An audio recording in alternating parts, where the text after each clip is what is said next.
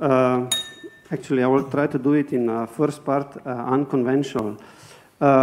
Maybe you have realized there is a fresh wind coming from Bern. And I'm re really happy to have this crew behind me, really. So they deserve a special applause. Not the first pan, the all panels. Please, thank you. Then I have actually two small gifts to the beautiful ladies who impressed me a lot. Please, Anissa.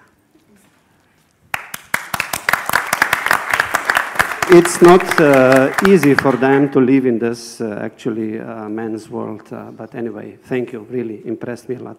So now the the the, the part. If I may ask you, check it on. Yeah, uh, let let me try to uh, uh, summarize. First panel, we focused on en enabling a fully digital postal ecosystem. Our panelists highlighted the Post as an indispensable service provider. They noted the Post's competitive advantage over the service providers, reflecting on their vast physical network and connection to the communities as they serve. We discussed how these assets could be tapped by partners as long as the post is ready. We agreed this, there needs to be cultural change with these organizations. We must also educate our customers to facilitate the adoption of new technologies by marginalized communities. The UPU is working to ready the network, raise awareness between partners, and set the right business and policy conditions for digital transformation. Our role is also to bring people together to establish partnership and launch projects. Our partners include governments, private sector, and operators. They should work together to find the most relevant solution, working together.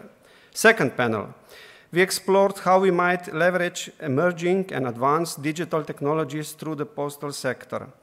Advanced technologies are opening up immense opportunity for the post to move ahead but it is key that we maintain our core asset, our customer trust. To do this, several elements are key. To ensure the security of these technologies, to ensure standardization for a seamless customer experience, the UPU has a role to play here with its partners. To maintain a bridge between the digital and physical to ensure that we don't lose that personal touch with our customers.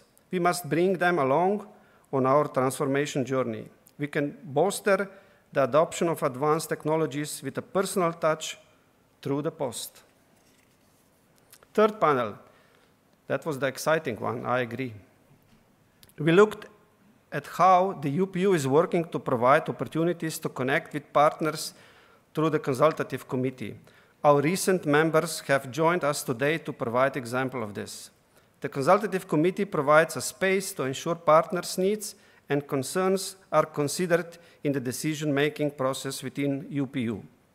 This committee also benefits wider sector partners with matchmaking benefits, connecting them directly with postal operators, and regulators and ministries responsible for the post.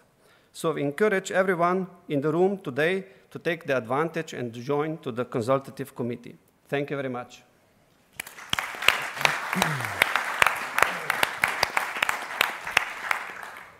Thank, thank you very much uh, as well, uh, Marjan. So this is now a lunch break, and we resume here as planned at 2.30.